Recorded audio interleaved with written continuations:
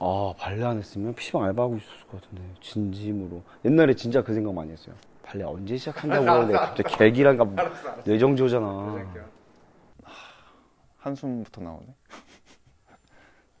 행복해요. 행복하고 여러 감정도 느끼고 제 자신이 발레인 것 같아요. 그냥 모델을 했던가, 농구 선수를 했던가, 도배를 했던가.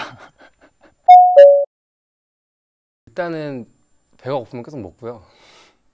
일단 좀 든든하게 약간 챙겨 먹는 스타일이긴 한데 잠시 다시 할까요? 저는 제가 제일 잘 가르칠 수 있는 게 그거라고 생각해서 저의 자녀들도 같이 발레를 했으면 하는 바람인데 자기가 좋아하는 거 하는 게 제일 중요한 것 같아요.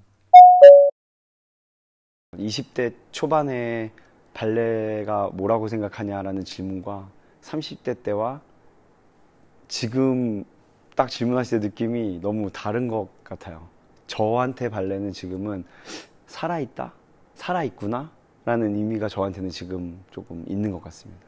가장 기뻤을 때는 그래도 아무래도 발레단에 이제 들어갔을 때 가장 힘든 건 지금 아무도 힘들다 소리를 안 해서 티를 못 내고 있는 게 더 힘들어. Life of 발레리노 대학로 예술극장 대극장 7월 7일부터 9일까지 많이 보러 와주세요. 감사합니다. 감사합니다. 제 건 안 쓰시는 게 좋을 것 같아요. 마이크 한번 빼주세요. 아, 네네. 이 말까지 해주세요. 제거안 쓰시면